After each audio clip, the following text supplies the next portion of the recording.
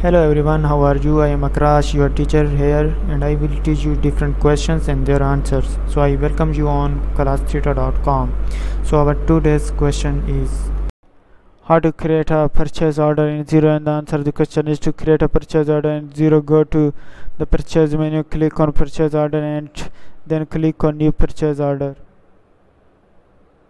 thank you for watching the video if you have any question related to this video please post a comment below if you have any question in your mind you can also post on the website and i will be answering you in the next video.